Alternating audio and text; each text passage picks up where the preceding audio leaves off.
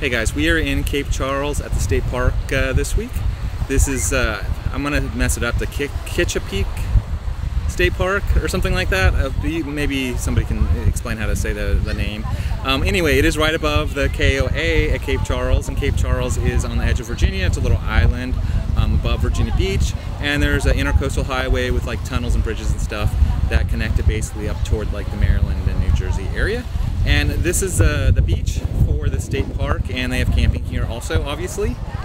The beach um, is state park access only.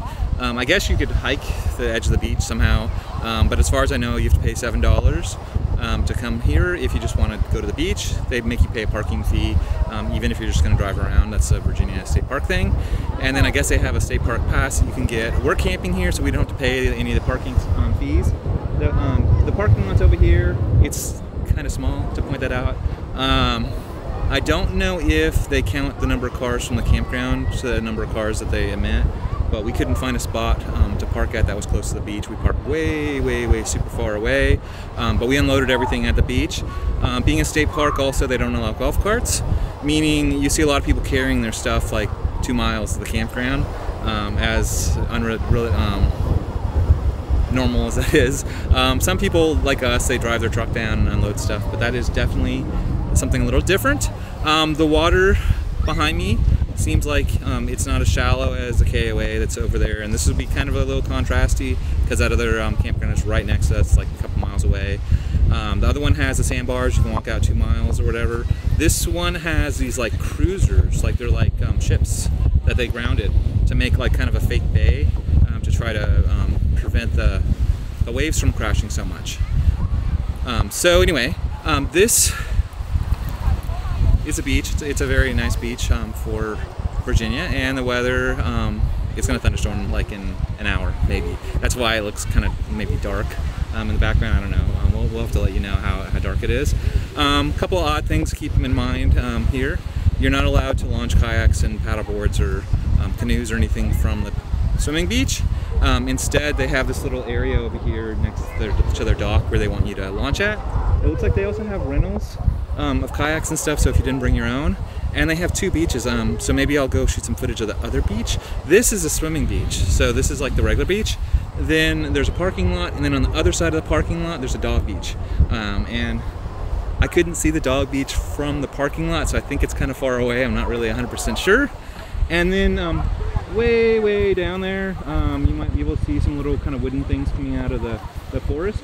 That is a very, very long, well, I don't want to say very long, I want to maybe guess quarter of a mile, um, wooden like walkway with stairs that goes to the campground. So you can walk directly from the campground to the beach, like a pretty long distance, um, through these like wooden um, kind of palleted uh, ramps and, and, and steps and stuff. So anyway. All right, so we're gonna head down to the dog beach. Um, there is a ramp from the parking lot that takes you down to it, and it's it's pretty close, as you can see. And then um, we are at the front of the parking lot. Next to me is this fishing pier. Um, even though it's not a pier, it's a big fishing area. Um, it says pier, but I guess there's a pier somewhere around here. I don't know. Um, but anyway, the big flat area, and you can see the boats that they have that are lined out um, to kind of block the waves. And then over there is the dock and the um, to launching for launching the boats that we showed you earlier and the regular beach. So let's run down there to the dog beach. No one guy told me, oh, that's a vlogger here. hey everybody, so this is the dog beach at the state park. And it's actually a lot closer to the parking lot than I was expecting. There's just a little walkway here. Um, I'll show some footage of us walking down it or something. Um, and then behind me is the pier kind of fishing area. Um, the big difference between this um, beach and the other beach is this one um, allows dogs, which that's a one plus. But the other thing is it's much narrower um, in width. It's about one um, umbrella width, like really like it doesn't really make sense to have like a, like a row one and a row two with umbrellas. Where on the other one you could easily stack like two or three umbrellas in a row of you know sitting there with people in front of people in front of people. Where this is just so much narrower um, it's a much, it, it, won't accept as many people, so to speak. So yeah, um, if you want to check out the dog beach without actually coming down on the beach, part of it, like I was saying, you can just walk down the pier and then kind of look over and see how populated it is. Um, if you want to run down here and check it out before you, you haul all your stuff down here since it's smaller. And uh, we will continue to kind of explore. Hey, so this is the campground, and uh, this is our site right here. I guess I'll start with it. Um, the sites here are extremely wide, and that you can see here we have the truck kind of tilted, the campers tilted. There's enough room if there wasn't for the tree and the fire pit, enough room for like another camper probably next to us, and then all the way over to that power pole um, where the water spigot is. I mean, it, it very very wide. You can see people here have their boats parked um, with their truck, and easily we have the truck parked in front of the camper, even though I have it tilted. And there's a huge amount of grassy space um, behind our camper, which means that uh, pretty much almost any length camper and almost any width camper probably could fit in the site that we have. Um, but what makes it a little unique um, is they have these trees and these markers, and the road is not terribly wide, even though you can see people driving on the grass, um, meaning probably the limit on getting campers into this campground is going to be based on how tight you can um, turn them um, to get them in between these obstacles.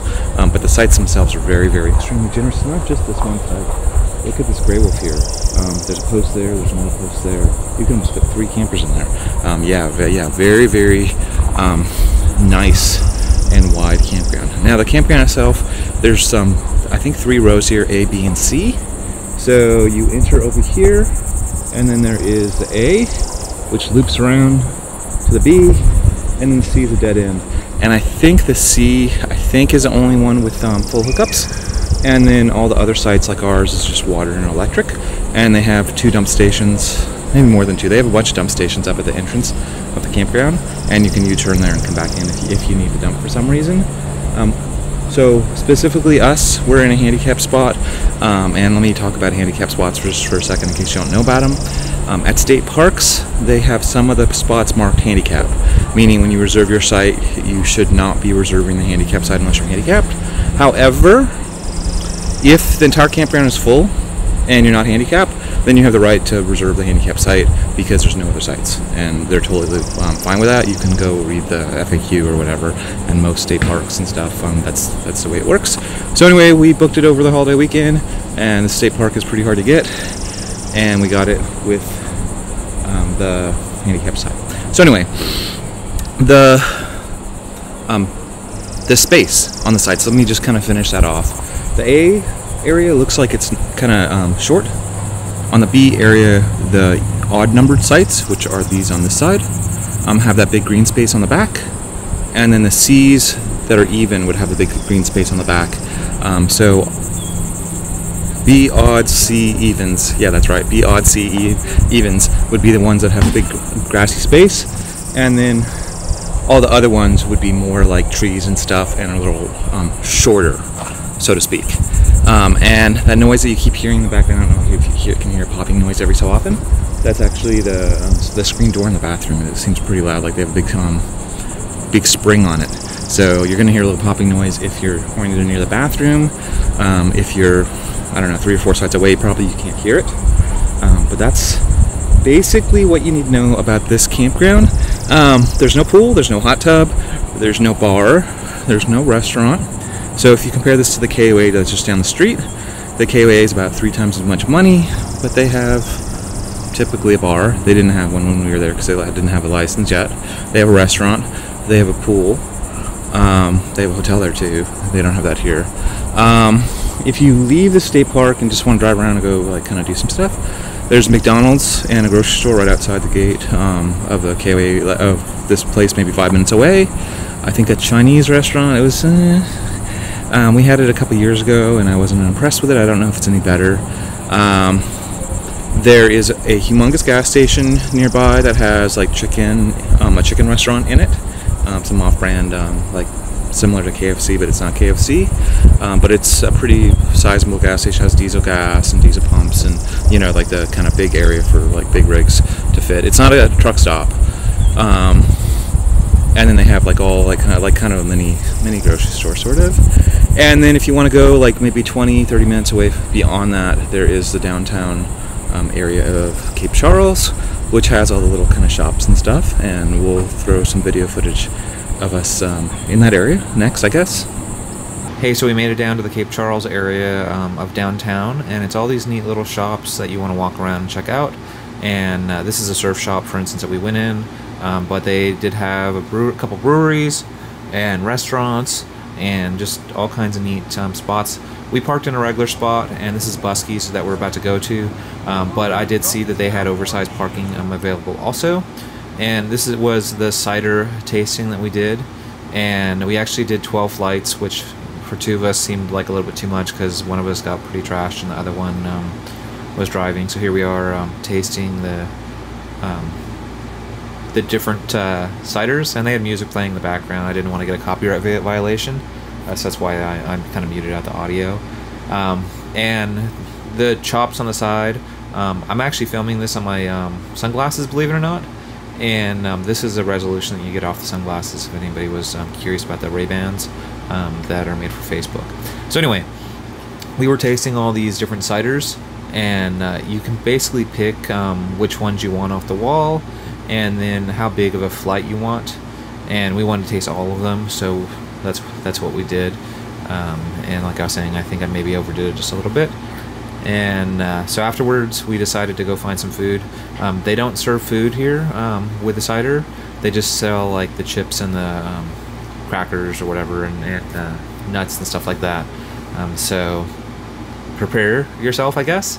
So of, of course, you know, after you do drinking, you go from there to another bar, which is what we did. Um, but here we actually had food um, mostly, and then Kimberly ended up basically driving me home pretty drunk. Uh, but this is uh, the um, Irish restaurant that we went to.